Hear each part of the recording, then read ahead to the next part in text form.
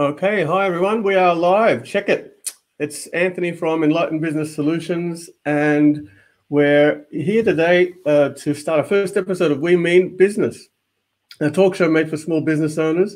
And we'll be speaking with small business owners from around the country, uh, providing some valuable insights uh, and information about various topics where we expect the audience to get involved, comment, and ask questions and uh, I'd like to make it clear that we uh, uh, don't have any agenda. I'm not a journalist. I'm a business owner, small business owner as well. I'm not affiliated with any political party or religious group.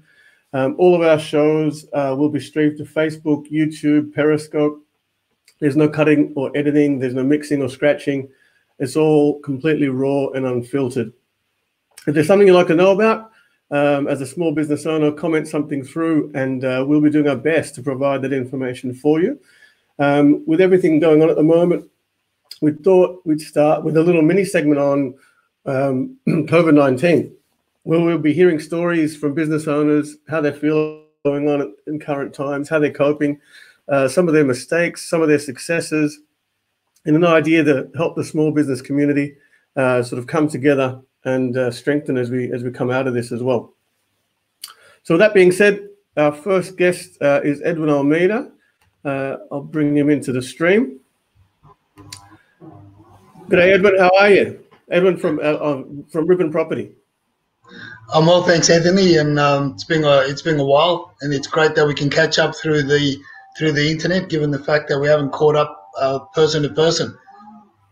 Yeah, it's fantastic. I think it's great that uh, having you on the show first. Um, for everyone who doesn't already know, Edwin and I have known each other for about ten years a little bit longer maybe. And I think you know one of my first impressions of Edwin is uh, he had this kind of steely, uh, too cool for school real estate kind of persona. But when you get to know him a bit better, you know there was that softer side to him. You know, uh, and when he opened up, he started telling those uh, those bad jokes uh, that I felt compelled to laugh at because he was paying for the coffee. Uh, and then over time, you get to know him a little bit more. And I think it's fitting to have you on the show first because you know something that I've known about you and kind of admired about you for a long time is I've always seen you as someone that's reinventing themselves, someone that's always looking at new ways to to do better in business, uh, to do better, you know, the, the processes and your activities. And you're an innovator. Uh, you, are an ideas man, and above all of that, you're an action man. You sort of get something in your head and you sort of run with it. And, you, and I think we need a lot more of that. Uh, you know, these days, probably now more than ever. Um, and so maybe just start with tell, tell us a bit more about yourself, your background. Um, you know, you've been in real estate since 2005, I, I think, or maybe just correct me if I'm wrong. Uh, a bit, bit, early, bit earlier than that, but um, yeah, well, it just uh, over a couple of dec, a uh, bit more than a couple of decades. Uh, it's uh, well, times like this, you've got to you've got to learn and you've got to understand that you've got to duck and weave, reinvent yourself, uh, and you've got to take um, take all adversities and and everything that life throws at you by the by the neck and um, you know make it work for you rather than work against you. Uh, it's uh, it's been a, an, an interesting journey in the in the real estate and property in the property arena, and I think right now the industry itself is going through some major major changes, and I'd say these changes were already uh, in lieu anyway. They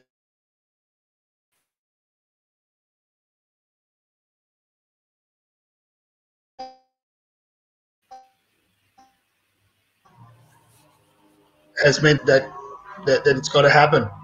Uh, it's just um, facilitated the well, I would say the need, uh, uh, and and now we're, we're, we're seeing the the expression of that need uh, live because a lot of the industry has had to adapt and adopt new technology in order to in order to transact in business. Uh, you know, property inspections, um, uh, whether it be for sale, for for lease, um, you know, auctions and, and, so forth. So we've had to adopt, but that's always been, uh, as you said, that's always been my persona anyway, to to adopt new technology, adopt new ways of doing things, and adapt. But and there's going to be a lot of changes, not only in the real estate arena, but also with a lot of businesses in general. We're now finding out that uh, potentially 30, 40% of businesses don't necessarily, or business owners and uh, uh, and workers don't necessarily need to go to, to the city to work in the city. We've uh, found out in a in a doing a crash course that you can actually work from home, and in in a lot of cases, a lot of instances, be more productive in working from home. Yeah, that's great. I mean, apart from the real estate, you mentioned other businesses. What experience when you when you're out there, sort of doing what you do? What what, what other experiences have you had with other industries, and, and what's it been like during these times?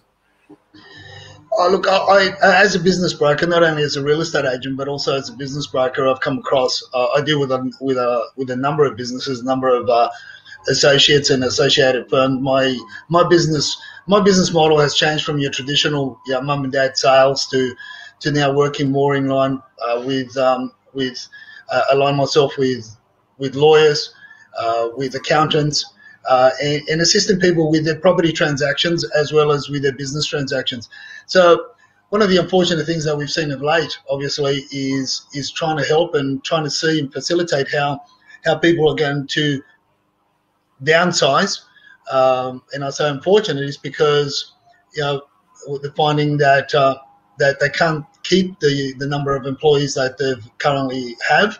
Uh, they've also got to downsize in terms of um, in terms of uh, shop front or office front, uh, or you know uh, they have to look at different ways in order to uh, in order to save to save money in order to stay afloat.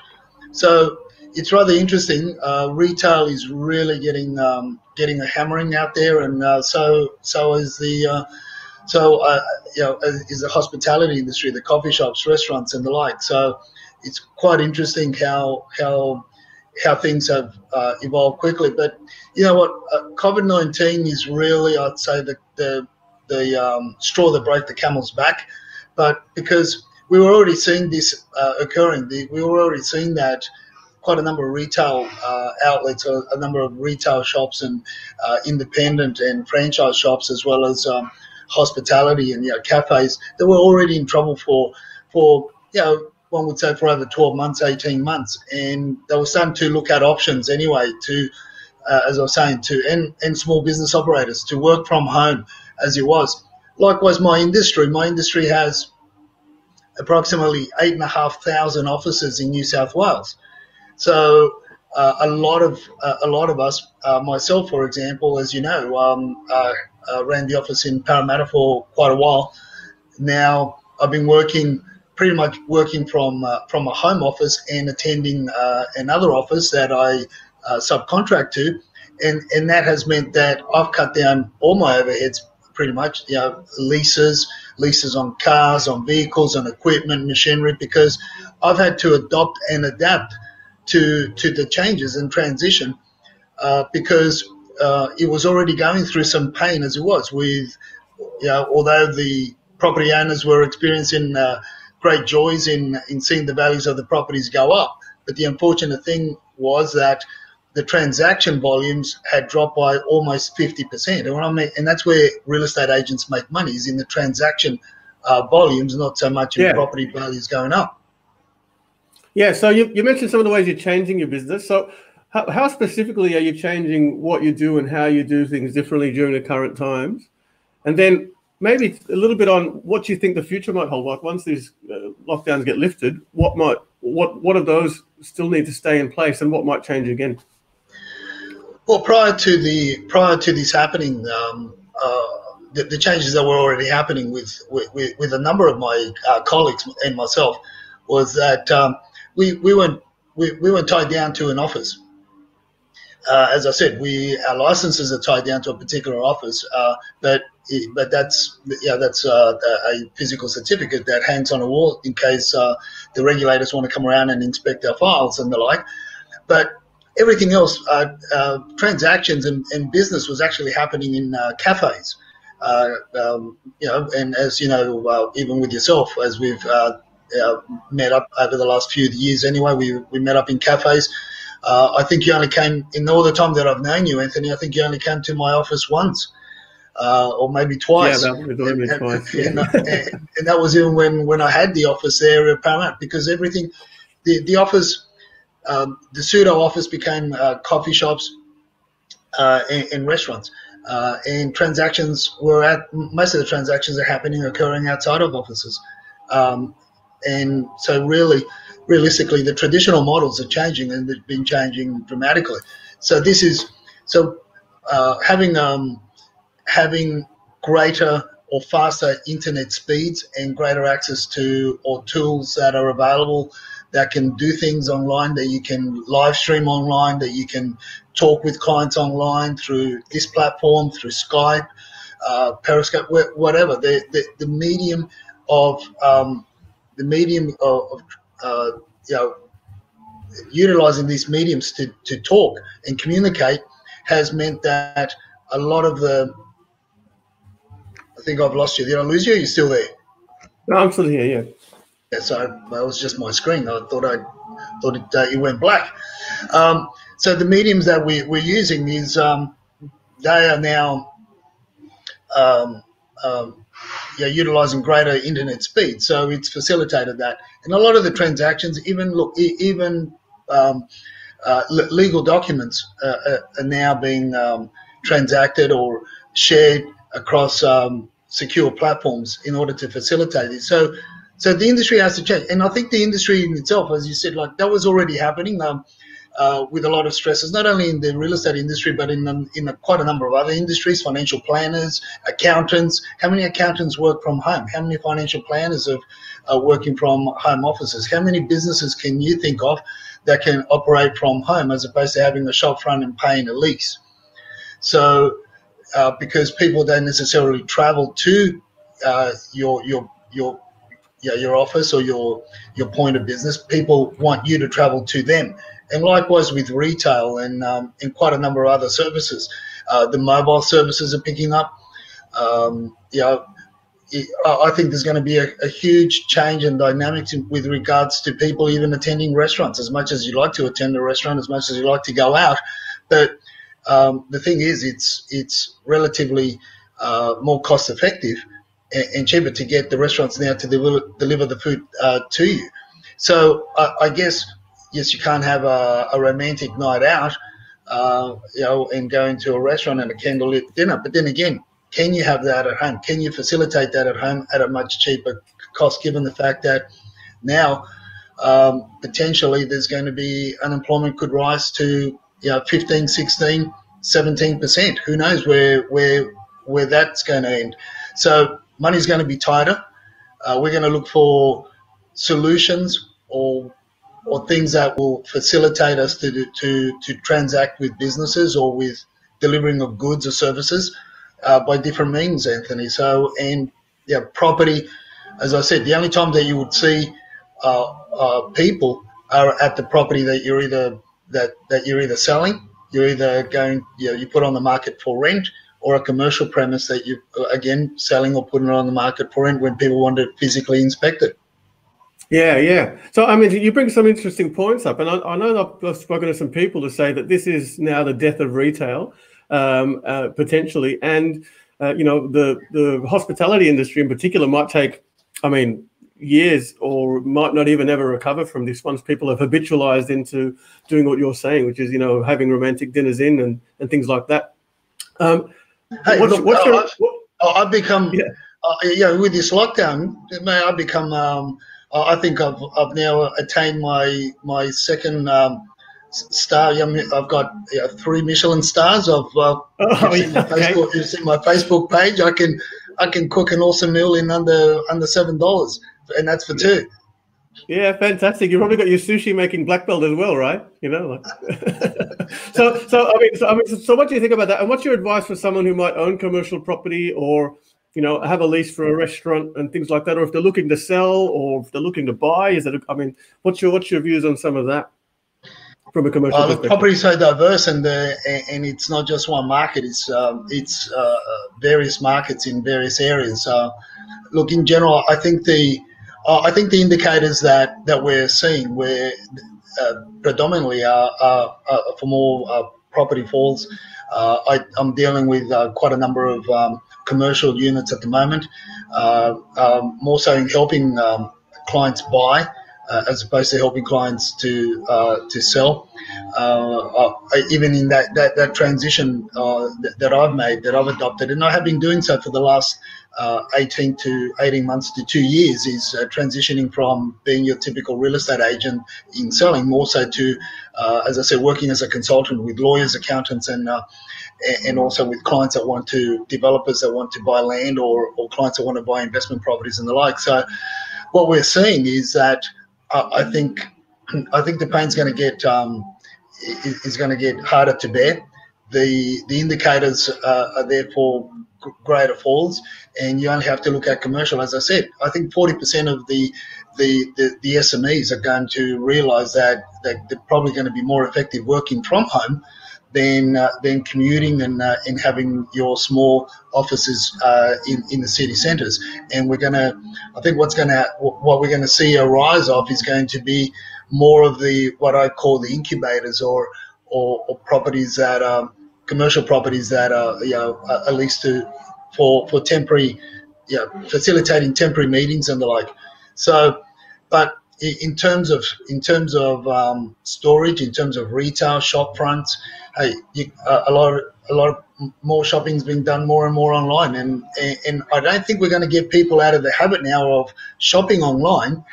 Uh, that, that, that we've created, or, or this COVID nineteen has created over the last uh, six eight weeks, and could go on for another uh, four, six weeks as well. So it's going to be a, a, habit that's not going to be easily broken. And I don't think it can be broken. It's going to be too costly to break or get people to shopping malls. Uh, so I think that's I think that's now set in concrete. So there's going to be a bit more pain uh, all around with uh, with property values uh, uh, across the board. Yeah, yeah, I hear what you're saying. So, I mean, when I first met you, we were in the aftermath of the GFC, and um, I mean, have you have you seen have you experienced other events like this? Uh, you know, in the real estate game, and what you know, what's your educated guess as to how this might might land in a few weeks' time? Uh, in terms of comparing this uh, this downturn to the GFC, or, or uh, any others that you might have experienced, or other other little events that might have happened, black swan type events, you know, that uh, might have come up. Uh, the yeah, look, not really. I think the uh, I think we were uh, economically the governments have been a lot stronger and a lot, and the economy has been a lot more stable uh, in previous years than what it has than what it currently is. Uh, so I don't think we've been in a situation we've, we've been in a situation where we've had interest rates uh, down to 50 basis points, let alone 25, and let alone going into into a, uh, um, a, you know, a negative scenario. Uh, uh I uh, we haven't come across anything like this in terms of in terms of property, in terms of um, recessions that we had to have, you know, in the 90s and. And, and then there's the, the, the GFC, which I think we, we, we more or less came unscathed, and there was a lot of stimulus thrown into into that recovery. Um, we had we had a lot of you could say we had uh, we still had fuel in the in the tank, but this time around I, I think um, we've been running on um, on the smell of an oily rag for so many years, uh, uh, and um, and quite frankly it's it's really it's unprecedented. Is that the lawnmower guy out the front? Oh man, I've got I've got everybody. You're gonna have to forgive me. I've got somebody at the door now. Take a break, Anthony.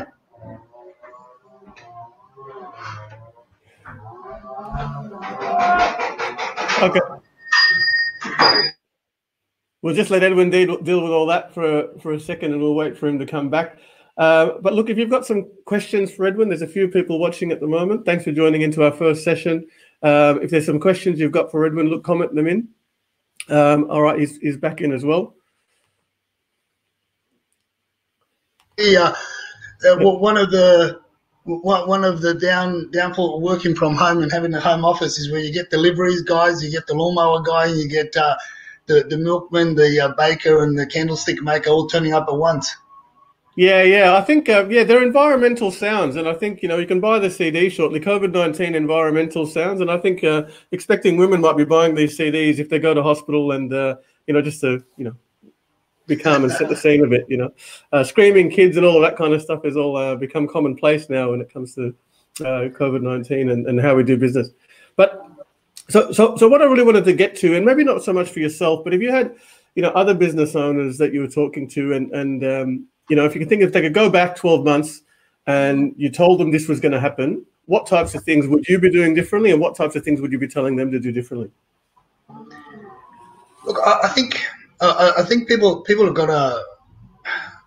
What, what would I be doing different if I if I knew this was going to happen 12 months ago? But uh, I guess um, 12 months ago, as I said, 18 months ago, I was I've been so involved in the industry and become uh, I've become um, yeah highly immersed in the in, in the industry and commentary as um, uh, a number of your people that are watching. Uh, yeah, if they Google if they Google my name, they'll see um, uh, yeah what I've been doing over the last yeah, 10, 15 years, uh, commenting on the on the industry because I was so immersed, I could see changes already happening, and I think that's what people need to do. They need to, if, no matter what industry you get into, or no matter what industry you're involved with, or uh, uh, that you need to immerse yourself in it to the point where you got to you've got to start breaking it apart. And as you know, Anthony, I've spoken with you many a times uh, as to what I could foresee as changes and disruptions in in many industries.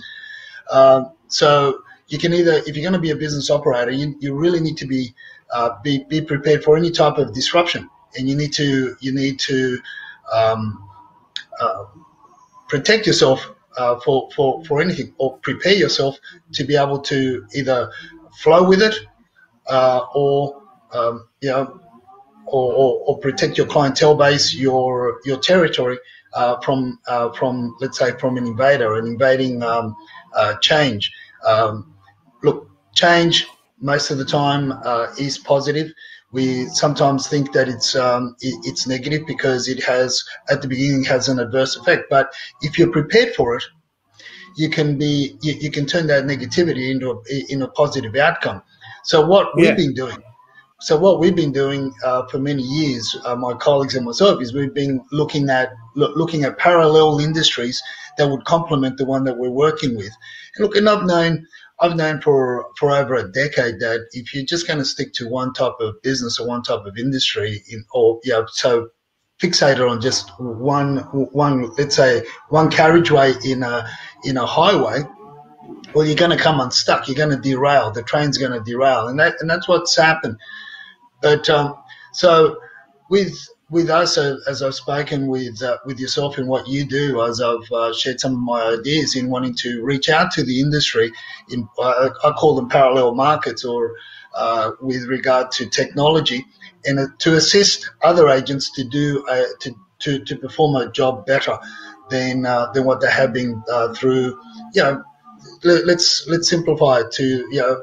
Um, rather than just using uh, pen and paper to using technology, rather than just using um, um, uh, you know uh, images using video, uh, rather than just uh, uploading um, photos on a website, upload you know 3D um, uh, or you know or even um, a video or or you know, walk through floor plans and that sort of that that sort of technology. So we have to adopt um, and that's the only way that I, I, guess that's that's what's allowing me and allowing many of my colleagues that that, that I discuss things with uh, have uh, we've able to to cope with this this transition. A lot of people aren't coping, and the reason why they're not coping is because unfortunately they're still stuck in they're still stuck in the 90s or still stuck in the early 2000s.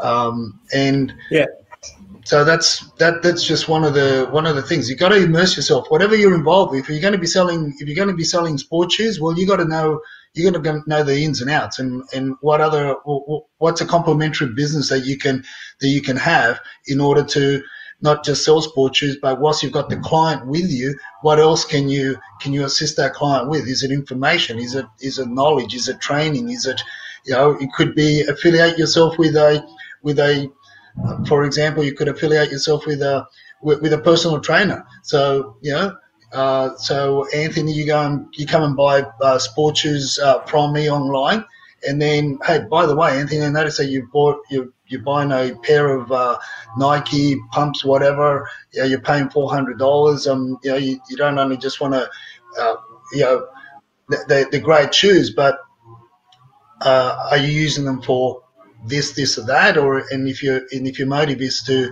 because you want to start you know, getting fit, well, we have an association and affiliation with with so and so PT services, and because you bought a pair of shoes from us, you've got the first lesson for free. You know, you've just got to look at your parallel businesses that you can complement and, and share. So there's going to be a co co-hosting, if I could use that term, co-sharing, uh, co-hosting of uh, of the clientele bases or the databases that uh, are effectively your clients.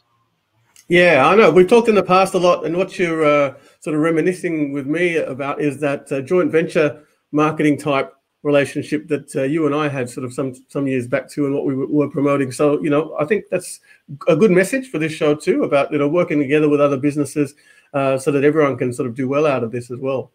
Um, I, want to just quickly get to residential property. I know there's a lot of business owners who own property, their own houses, investment properties. They might be you know landlords and those types of things too. What's some advice you've got for people sort of in that space if they've got to negotiate with tenants or if they're tenants that have to negotiate?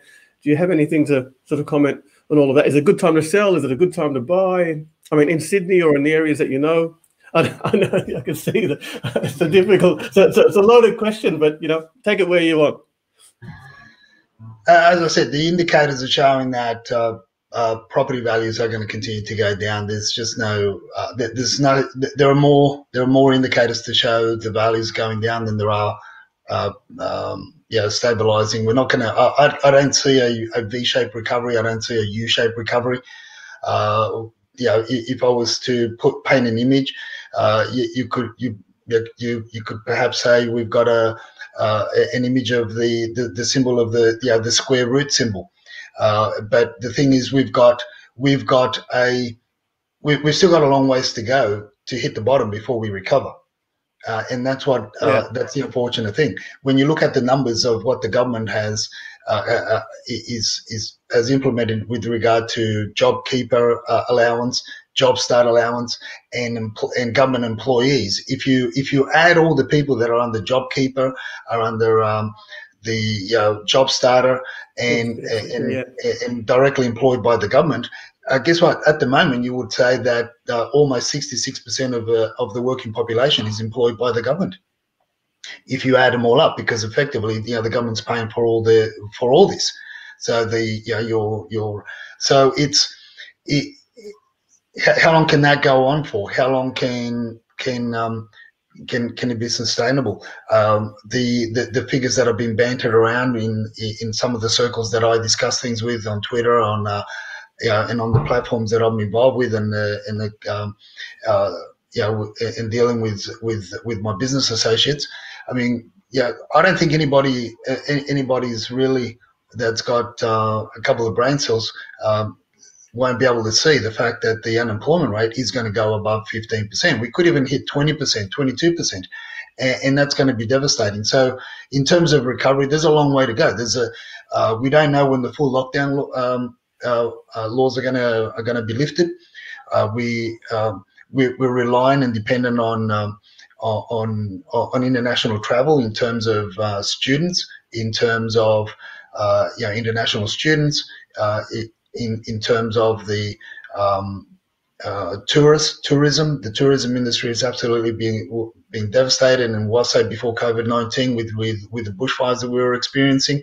Uh, yeah. You know, the drought and everything else. So, uh, if we're talking about airlines uh, going going full steam, um, you know, when is that going to happen? Is that going to, you know, where the government or the, the narrative that's being uh, being bantered around out there in uh, in in the big media is is possibly 12 to 18 months before we before that really kicks off uh, in in earnest. So I think I, really think it's a matter of uh, batten down the hatches and and people have got to take stock. Obviously, on a on a one to one scenario, look, um, if they reach out, um, you know, I'm, you know, I'm available to give them friendly, you know, friendly advice. But to to to answer, everybody has their own their own needs and their own um, individual needs and requirements in order to for for for me to say. But to give it a blanket, um, yeah, yeah, I understand, yeah.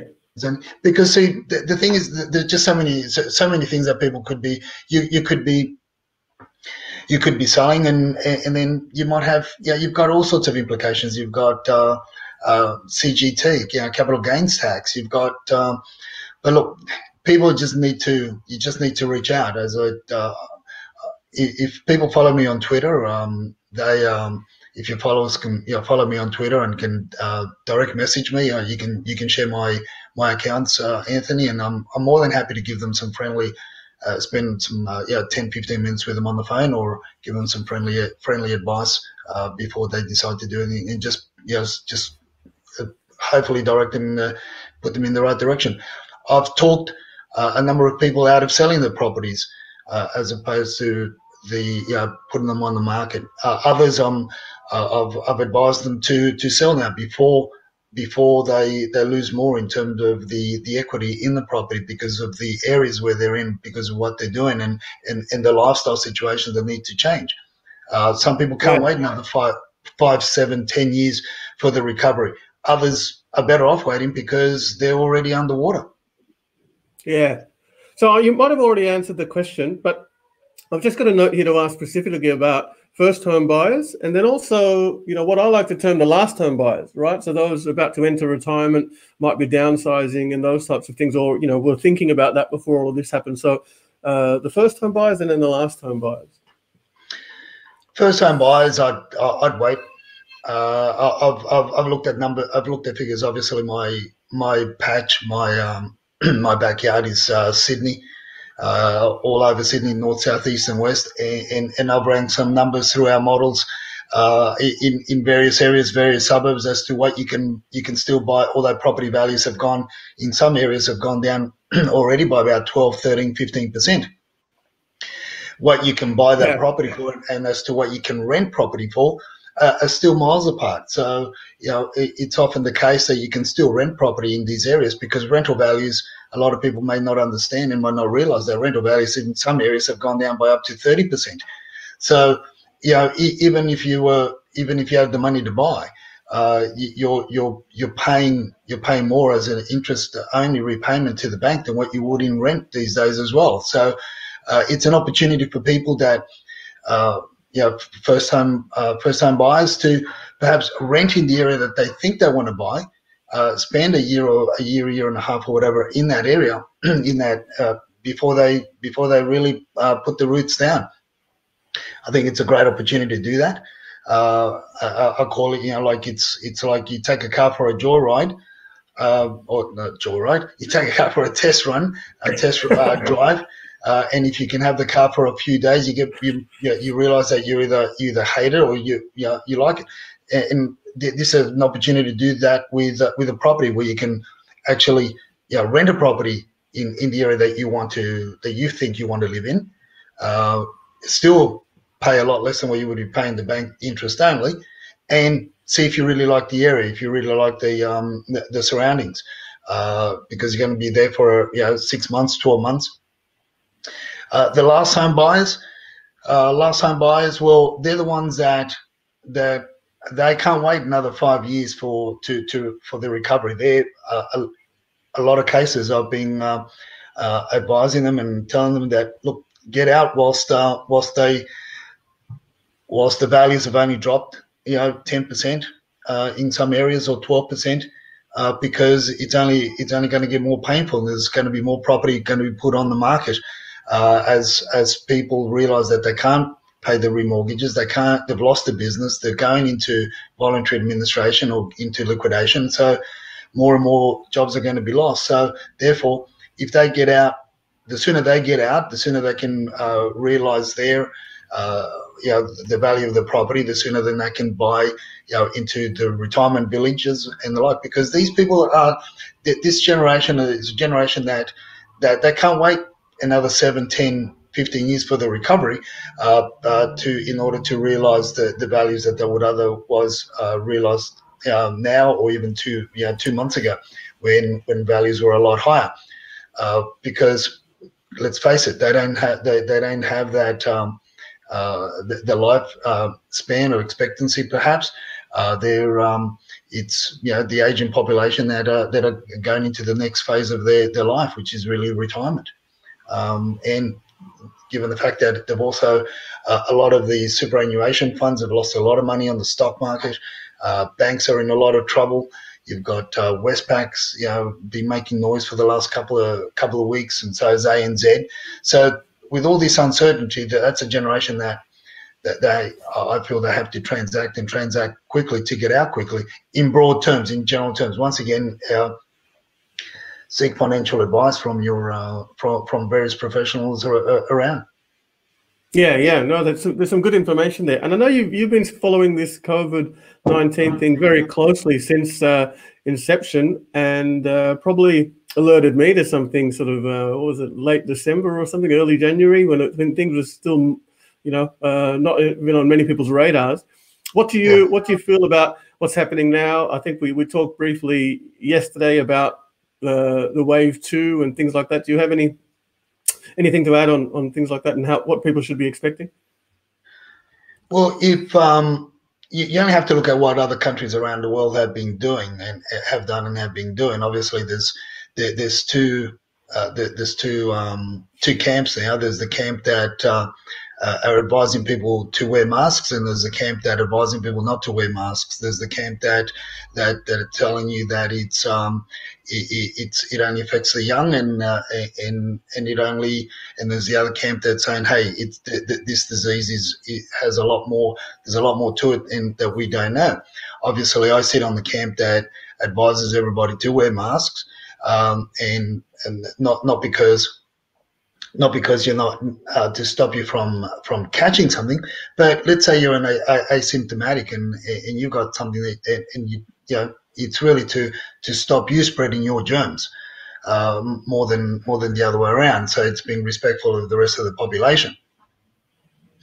Uh, what we've seen is uh, uh, countries around the world, such as Singapore, when they uh, they, um, they they they lifted their um, the, the lockdown um, uh, a lot earlier, and now they're going through through a second wave, and the second wave is is is a lot um, hitting them a lot harder.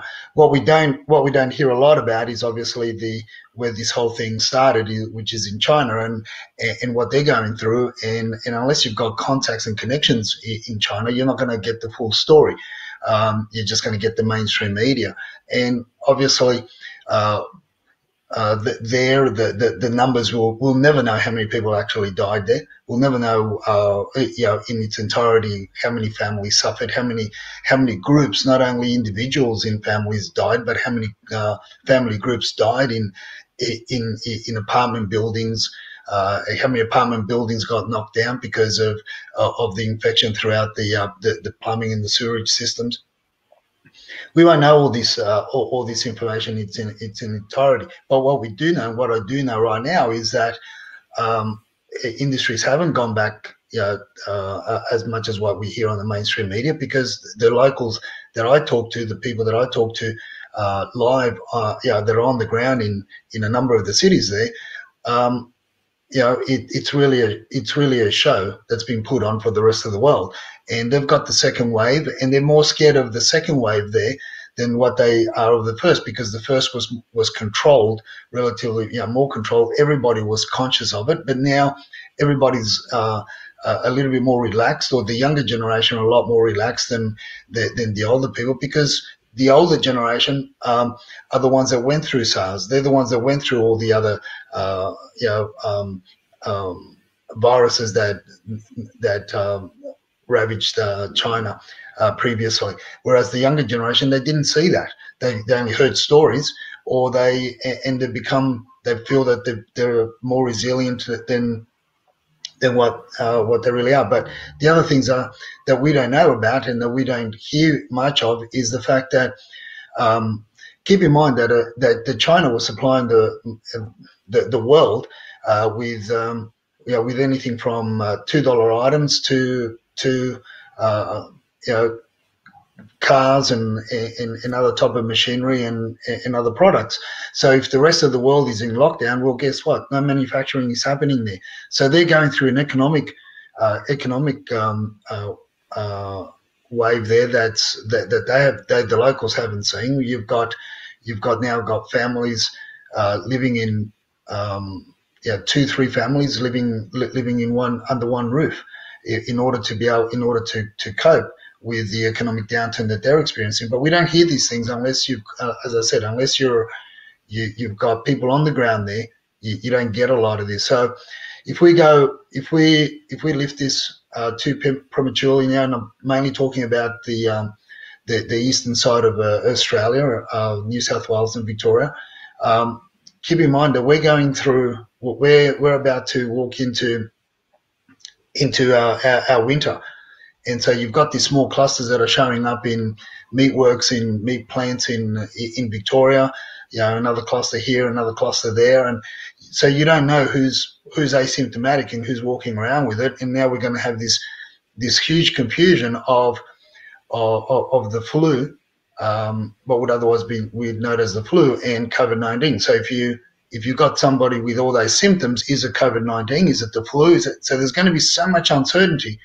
Um, but the good thing is is that the, the narrative of the government and and the powers to be that they're not talking about opening up the borders uh, early, and I think that's our saving grace to an extent. But there's still a lot more pain to go through, and I just you know encourage people to protect yourself uh, and and look and and help protect others and and just be mindful because there are yeah simple things that we can do in terms of hygiene, in terms of uh, yeah wearing masks, uh, in terms of sanitizing and, and not and, and, keeping that social distance, uh, uh, you know. Um, regulations and, and be more inclined to to sanitize your workspace, work environment, uh, a, a, lot more and, and be more open to that.